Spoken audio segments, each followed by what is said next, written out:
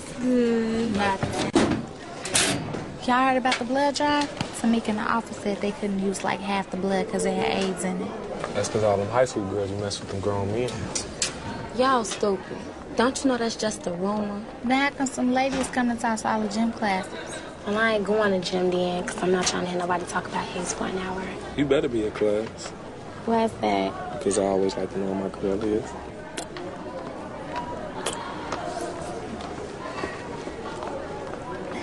Girl, you sprung.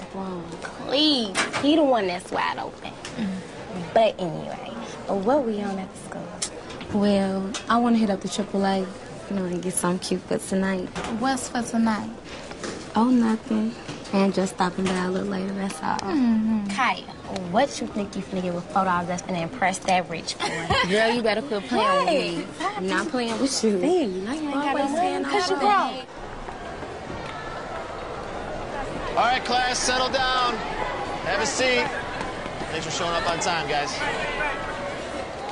All right, guys, listen up. Okay, quiet down. Uh, we have a guest speaker here today. She's going to talk to you guys about HIV and AIDS, all right? So I want you to pay attention and listen up. If you guys don't think you're mature enough to handle this conversation, please save us the time, stand up and leave right now, okay? All right, they're all yours. Hey guys, what's up? How you doing? I'm Miss Brown, and I'm about to get real personal with you. Who here has ever been sexually active? Okay. I ain't had sex yet, but I'll let you be my first. And out of all of you, how many of you have had unprotected sex? Oh, y'all know y'all be lying, boy. Okay, first off, I appreciate your honesty.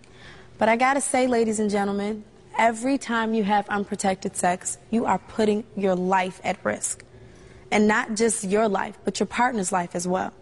But uh, when I did it, it was with my girl, and I know she ain't burning.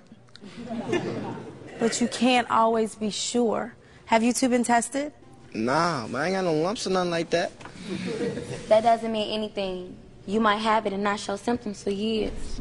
That's right. That's why you must get tested regularly. Now, whatever, man. I still say you could tell. When I was 17, I had a boyfriend, and he was a star basketball player at our school, and he was fine, and I loved him. I trusted him, so we never used protection. And then one day I went to the doctor just for a routine checkup and found out that I'd been infected with HIV. And he'd been sleeping with my best friend behind my back, so I guess we share something else now, too. Yes? even if you do get it, it's not a big deal anymore, right? They got drugs and stuff. I mean, look at you. I don't want to scare anybody from getting tested because you can live with the results.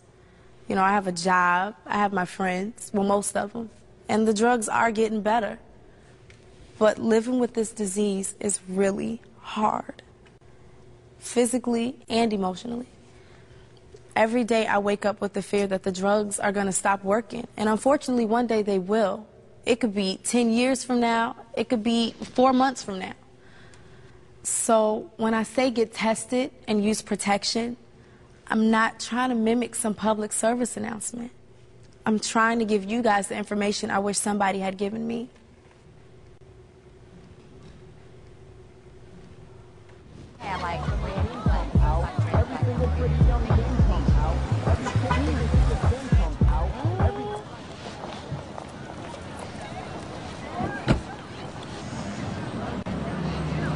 What's up, little mom? What's going on, Juanita? You gonna let us push that navigator to AAA? Sorry, I got class.